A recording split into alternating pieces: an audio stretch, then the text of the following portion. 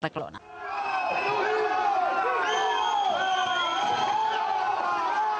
Ha passat a la Facultat de Ciències Polítiques, on un grup d'estudiants ha intentat boicotejar l'acte, barrant-li el pas i cridant-li feixista. Davant la impossibilitat d'accedir a la sala, l'organització ha intentat habilitar un altre espai, però els aldarulls s'han repetit també allà i fins i tot s'han llançat pots de pintura que han acabat tacant el degà de la facultat. La sortida no ha estat més fàcil. Després de la conferència titulada Una alternativa per Catalunya, Rosa Díez ha tornat a veure com un grup de joves li barraven el pas al cotxe en què anava. Finalment, i després de nervis i algun cop també, el cotxe ha pogut sortir.